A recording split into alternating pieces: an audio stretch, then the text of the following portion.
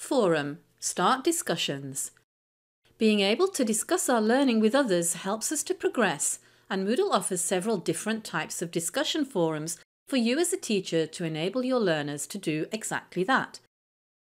To add a forum, enable Edit Mode top right, and then in the section you'd like to add the forum, click Add an activity or resource. We can add several forums of several different types, we don't only have to choose one. Clicking Add an activity or resource brings up the activity chooser. Forum is an activity because students interact with it on the Moodle course. Click once to go straight to the setup screen or click the eye icon for more details and then click Add bottom right. There are a lot of settings for the forum, but we only really need to give it a name, a description and then to save it.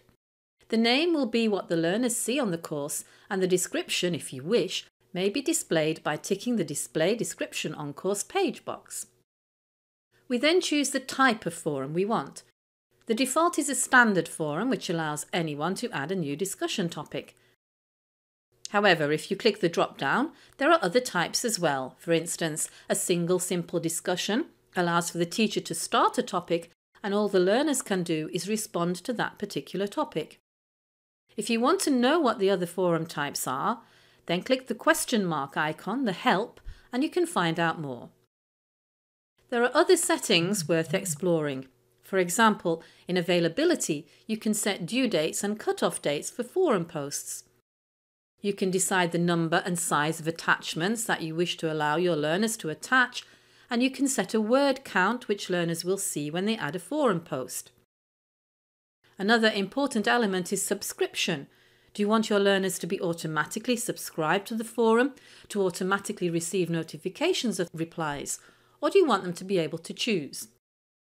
Discussion locking allows you to close a forum if no one has replied after a certain time.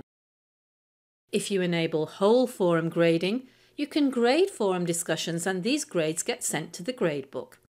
We'll leave this for now. In activity completion, if we want to track that students have accessed the forum, do we want them manually to click to confirm they've seen it, or do we want it automatically marked complete when they've simply viewed it, or based on certain criteria such as a number of discussions or replies? No need to click View as well if you're specifying other criteria. To alert course participants that a forum activity has been added or updated, click Send Content Change Notification.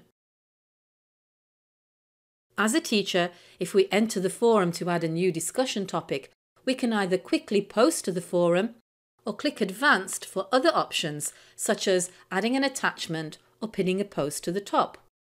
In this Moodle site, the admin has also allowed teachers to set a display period. Let's pin this post so we can see how it displays for students and there is a pin icon. In a different forum, in a different course, we can see some other settings. Discussions can be easily starred, and for students this will move the discussion up under any pinned posts. Forum discussions may be ordered in various ways, for instance by last post. Everyone can easily subscribe to individual discussions or to the whole forum. From the three dots on the right, a teacher can unpin a discussion or pin a new one, or manually lock a discussion. And if you change your mind as the teacher, just post in the forum again to unlock it. Finally, it's useful to know that teachers can send private replies to students, which only that student can read, but not reply to.